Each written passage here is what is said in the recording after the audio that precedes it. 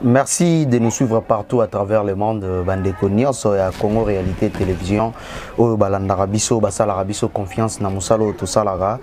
esengo eza makasi ya kozala liboso na bino mpo na kosalela bino émission oyo e na après-midi ya lelo invité na biso eza bongo Cédric Mouna pourquoi choix na biso eza na Cédric Mouna eza par rapport ya oyo Cédric Mouna alobaki na émission na biso précédente tosalaki na ye et tomoni mpe de l'autre côté blanchard mosaka apesi réponse na ye et tolingaki tomeka lisusu koyoka lisusu muna par rapport ya réponse ya blanchard mosaka et à la prochaine, prochaine fois tokoluka mpe tovandisa bango mibale mpe na esika moko mpo tomeka koyeba nani azoloba bosolo nani azoloba lokuta sans plus tarder toza déjà na cédric muna bonjour cédric muna bonjour na bandeko tout basepelaka na chaîne oyo bonjour na bandeko tout oyo bazosepela na nga mikolo mikolo naosentir vraiment ke ngola nzambe eza kati na yango sentir ben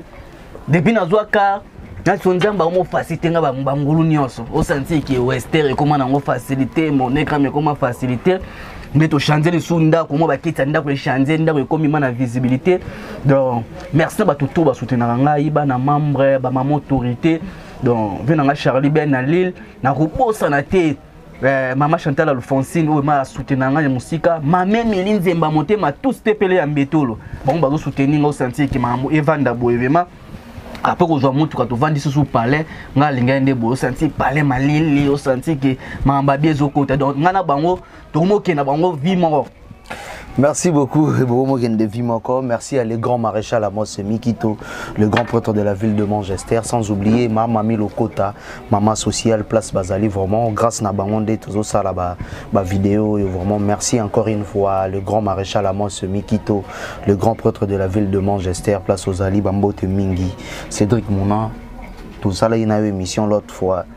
omekaki koyebisa biso ke non blanchard mosaka avant sala émission na bato asengaka mbongo na bafille ezalaki ke non avant sala na mwana mwasi donc il faut mwana mwasi akóma liboso cameraman akoya na nsima après ye okomaki o oh, asengaka mbongo cédrik muna blanchard mosaka aboyi makambo wana nyonso abi atikala jamais kosenga mbongo réaction no eza nini par rapport ya badire na yo ndenge oyo akizaki blanchard mosaka ke asengaka mbongo avant kosala émission omoni premièrement esali nga bien komona deja message oyo napesi bato babangi nga aza lokola daniel safu nga akoma lokola daniel safu ya internet sikoyo ya mambo sikoyo ekota miziki moto bato bazobanga bato bazobanga ndeti koloba ve ah, ah, ah. na biso blanchir mosaka oyo yambo lisusu to osali nso émission te boye na boye ngai si ngai funaki moi lelo internet ekomi obeba oya pa prophète ngefa asengi mbongo oya pa nani kisi nzoka asengi mbongo oya pa nani nani oyo nani loso litole apete so ni mbongo siko enge koma ti ekota ti koto baporte pale kota koto bamusicien ngai siko namonaki ah jo tokende yango so tokende yango kaka liro tolela nabeti sete mbala moko omoni ebangisi mbango bavie valie mbala moko esi ngai asenga mbongo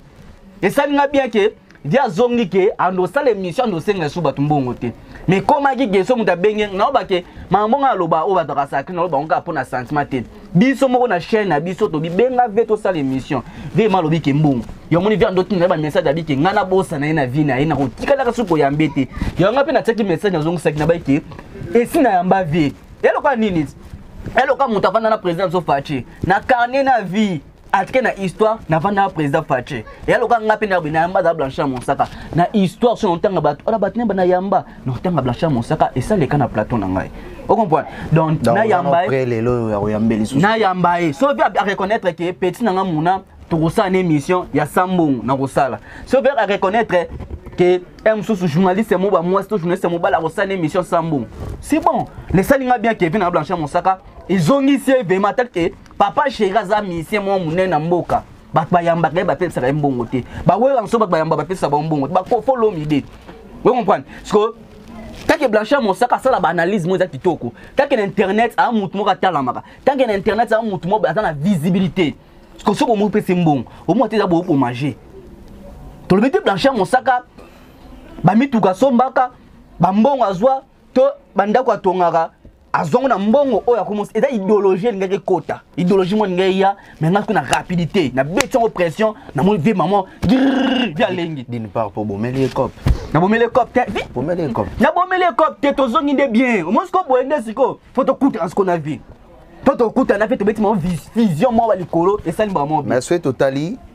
na badire na ye atie kutu ken piana témoin ke non euh, ken piana eske ngai nasi nasenga mbongo na baémission tosala no ken piana kutu atémoigne na faveur na ye ke non mais ken pa témoigne mpo blanchard mosaka moko leke epai na ye combien ça fait combien l'année oyo blanchard mosaka toyebaki andoleka na fimbu na fimbu te temps molai toyebi blanchard mosaka alekela so na fimbu na fimbu te ezalaki rando blanchard mosaka ken ayebisa ye kosuka na piscine blanchard mosaka ken ayebisa ye bo bazalaka na mama na rando tant que namoni sikoyo te internet ndenge yeke boye tokomona baso blanchir mosaka mwa 20 mille ekota 30 mille ekota okotela ye mais opinga moko soki nayebi ke ezalaki so obengi vema boyokamaki carbure ezali eloko boye eza moto natelemeli yango galengi mama te eh, kota papa chéri eyo sopa ngai kota nani, nani roger ngandu mpo roger ngandu porte parole aza mpe mokonzi na kati ya orchestre bajane ezalaka mpa na ye te oyepa oyepa nani epi na biso sankara de kuta osali ne mission osilisi apesi osu mbongo tokoprendre engai apa mosaka engai koma je mbongo ye moko tel ke petio ndenge azokende boye ndenge azonyata ngai azala boye mpo nasanuka nalamuka basali mamo emission alamuka asi ngai asengaka mbongo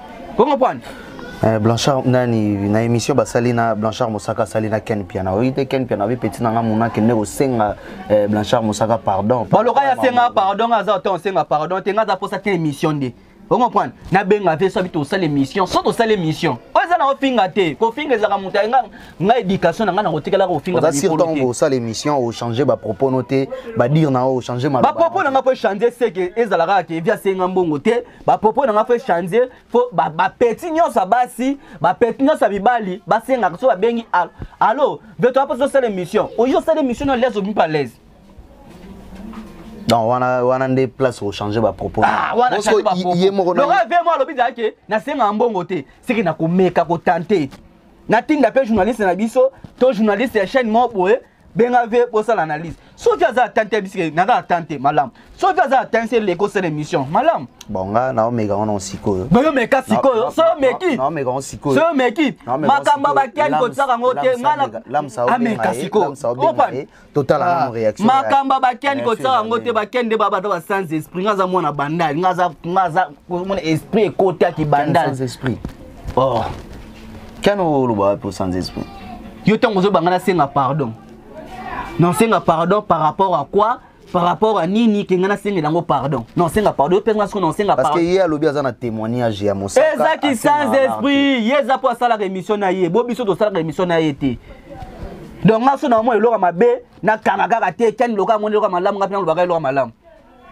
faut kozala na esprit d'une part mpe tomona yango lokola likambo ya solo kozala na esprit émission wana tosalaki totangaki ngai nabotami na bandal bazalaki soki plus de 5 boye mais nde nini réaction eza kaka acho epa na ye epa mosaka ah. po bazalaki 5 totangaki ah. efa totangaki euh, kisindjora totangaki euh, nani lisusu euh, lite ya pete pasteur john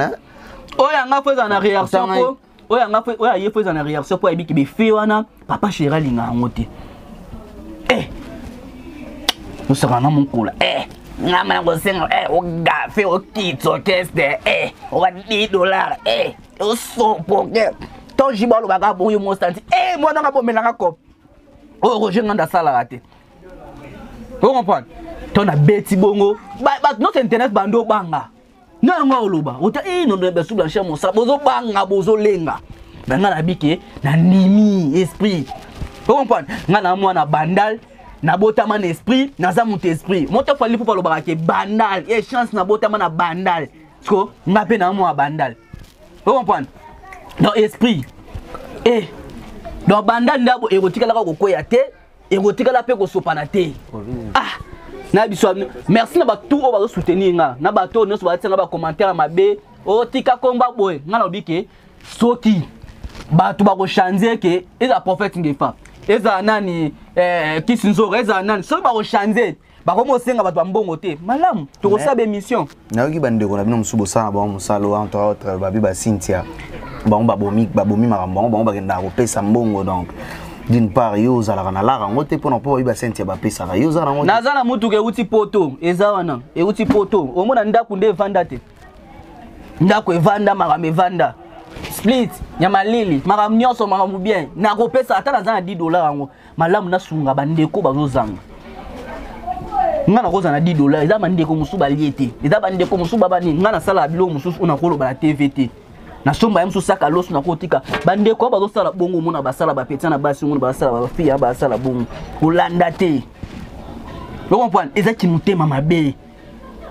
mpe moto aya na bajean na biso tali beka sintaka pashe moto aya na bajean na epolapola koyebisa bato ke ah paster john eh, nde boya bato bakoyambo te mpo bapesaka bambongo ah, oganie nini so ayebisi bango bongo kasi ye koganie na ezaliki motema mabe aza mposa yo yamba paster john te aza mposa ndeko mwa bana internet sika yamba paster john te lokola aza nango yo kozala 20 dollar ndeko mosusu aza nango te eza babos mosusu na internet baa mitema mabe bazali babos mosusu ya bachaine ba internet baa na poto baa mitema mabe donc afutaka motu salaire na ye esili transport bunda o oh, nini bunda yebisa nga siko moto wana ayebana ndeni aposa yamba paster john aposa yamba paster ngefa aposa yamba mosaka so aza na mbongo te aza na etoile na ye aza na makambo nayebi mosala oyebana ndeni ko nga na ye siko na valeur ke bandeko nyonso basala na internet toyambaka bato nyonso à l'aise ya te kaka asinzaka pashe ayebisaka bato kaka avant moto ayambo ekomaki mutu moko sala internet akomi na succès mutu moko aye akoti ye boule nde eza boza na succès nde aboye ngai nando oyamba yo te ndosala baanalyse nando ofuta o mutu amoko alamuki abike nde na aboye avant aleka pa jordan kambala fo ye pa futanga je komobeba fo kotelemela biloko wana o comprendre kobebisa babiloko wana kotelemela bango koyesa bango ke boye eza mabe boye eza malamu briske nyonso ozwa wana na prépare se prépare mpe mpo na bataka te atake eza te ah nga na mwana bandali ah yo ozolobaki yo oh, cynthia moto abebisi nini yango akopesaka bambongo naza mwana bandal nabangaka te naza mwana bandal ya solo esprit na mwana banda na pere te na pede te na banda mamba tv kala nasala groupe na kini nana ngai yebi te nasala groupe na kini eleka na couleur tv naza esprit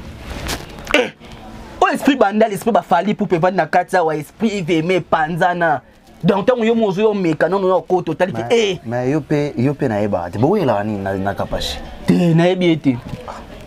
mais outi otanga nkombo na ekala te boso natangi nkombo na elokisi nayebi ye nayebi kaka ka nayebi na ngai ye te okomprendre ezalaki ke bato karina ndo bokola bato karina azwaka karina bokola nani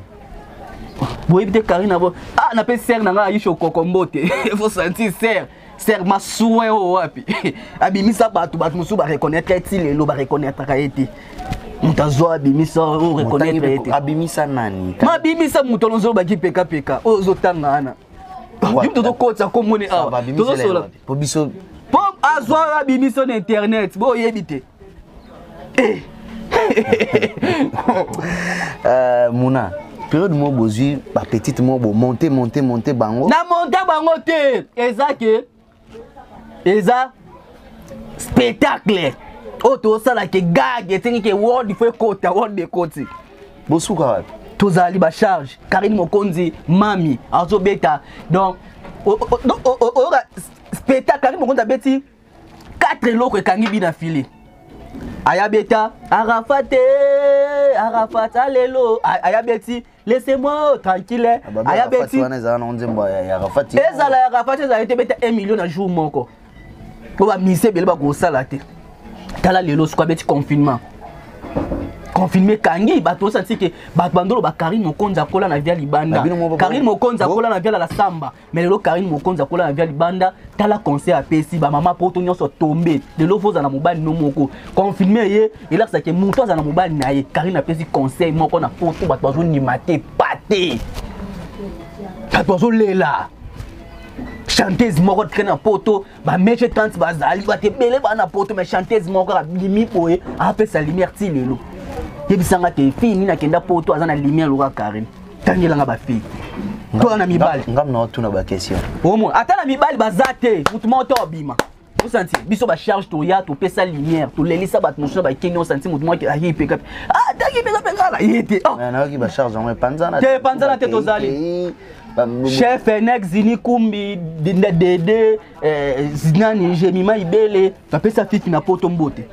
tala siko biso koto okenda yo yebaka bato bakala basuccès bando oganga ke motu mwana ndoganga na kini awa américain perdi yo braza américain perdi yo congo américain baperda mpe kaka boye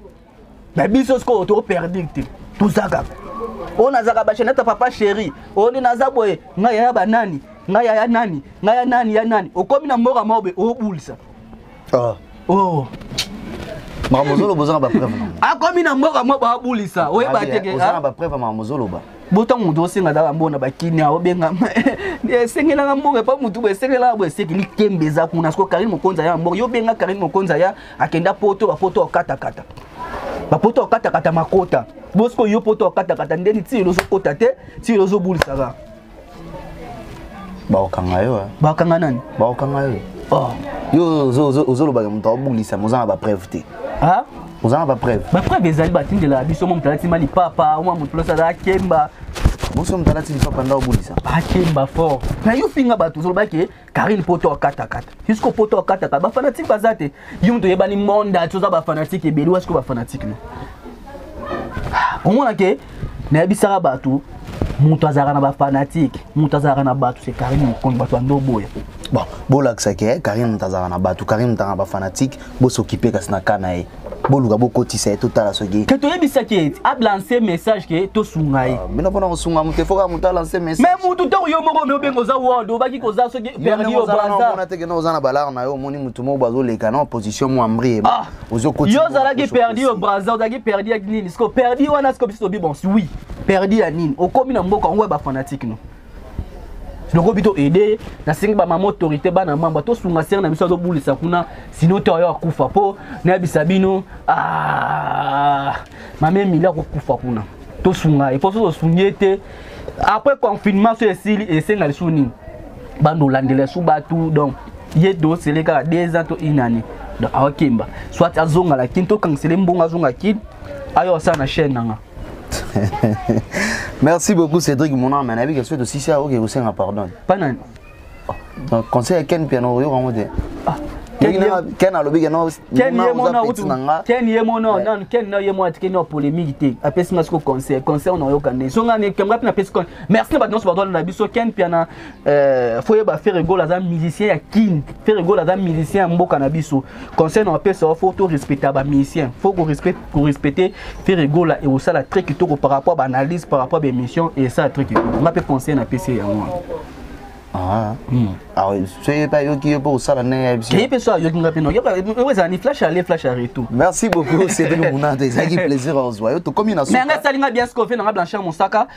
nde tosololi boye esali nga très kitoko via abiki asenga bambongo te me nga mpe na confirmant via asenga yasu bambongo te oh, confirmant nga mbamo ndeni kaloka abaleki na émission abi asenga bambongo te yo olobi kefo tomekasi kafo tomekasi aussi longtemps na omeki te oconfirme nde kaye moto alobi na émission nde bapesi nga conseil ke bongwa moto boye na yoko asenga ya mbongo te kitoko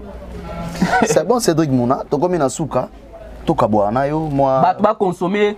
ba consommer nini ya ba kota na chaîne ya Karine Mokonzi donc confirmer ezali wana ozalaka première bureau nzoka nde ozalaka deuxième bureau nzembo wana na biso très kitoko lelo toza confirme donc karine mokonzi bravo na, na single opesi bato mepesi elengi bato bakokomprend te merci na bamama autorité bana membre ya mama kabibi bato tu oyo balingaka muna na baoyo balingaka muna te ngai naosala mosala oyo te mpo na sentiment mpo naluka bese to mpo naluka nini ngai nabaki ke émission ya mbongo naosala na ngai te malamu bayambi nga mpo na cette analyse ngai mo misie nabengi yo apesi ngai respect tosala tosali porte parole nabengi yo apesi ngai respect tosala tosali mais soki ezaka mpo na mbongo yango nabi merci na na vie na ngai sankara de kuta merci na vie na ngai roger ngandu international merci na baporte parole tout oyo basalaka papi le prince oyo basalaka mosala mwa kitoko vie nanga blanchard mosaka mpe asalaka mosala kitoko mais vie ezali kaka par rapport kaka ah vie akomaki ndeti ke ndeti ndeti mais lokola vie abongisi tokota tokomeka so tomeki tomoni ke vie asengi mbongo te ekosala nga très kitoko merci beaucoup na bandeko nyonso balandaki biso e, tokomi pratiquement na suka ya émission na biso e, merci na mama milokota mama sociale napesi yo mbote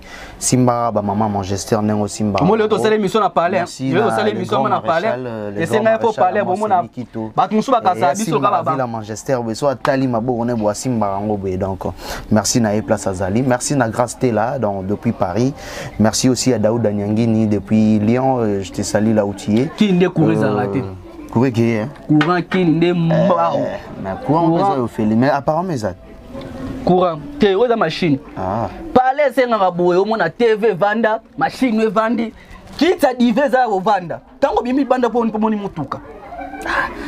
mosaka aza na biloko nyonso tosilisa te wana aza ve na nga aza na biloko nyonso me ngai soki nabandi vi ya sika mpo nazala mpe na biloko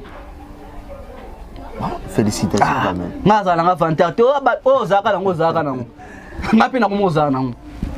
tozela koconfirme sila tobeta voyage mobe na okende natali kaka glo olangi mbangu na zoi akoki ah, etala ye natali ye kaka mbangu na zoi esala bien eh. soki etala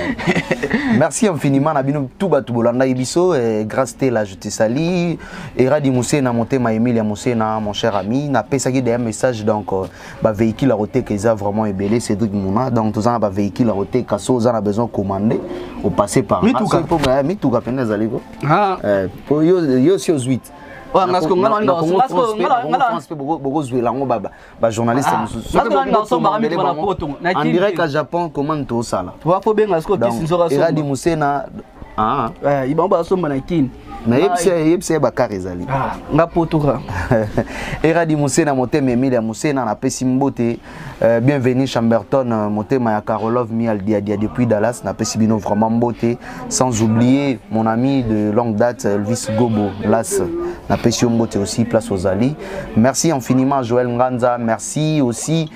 à Jordan Kambala qui était derrière là asali pena presque nyonso bozomona oyo image na onde bomona kitoko boye c'est Jordan Kambala napesi ye mbote place aza napesi équipe nyonso ya Congo Réalité Vision kobanda na grand prêtre maréchal amos emiki totii na bato tu oyo bazali malgré confinement donc merci na bino tokutani bongo mbala nsima ciao